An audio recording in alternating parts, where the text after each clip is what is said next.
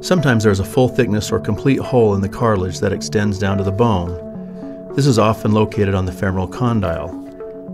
In this video, you can see a full thickness or grade 4 hole all the way down to the bone at the end of this patient's lateral femoral condyle. First, a candle snuff or arthroscopic cartilage curette helps to clean out the damaged cartilage that is on the end of the bone. It is important to remove the damaged cartilage in such a way that it creates a nice stable cartilage rim surrounding the full thickness defect.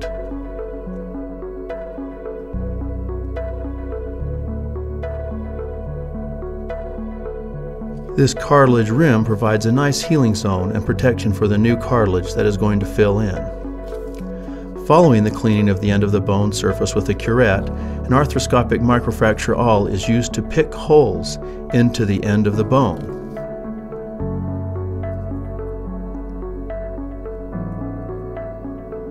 This creates vascular channels in which embryonic cartilage cells from the bone marrow can fill in to create a new cartilage surface in the area where the defect is located.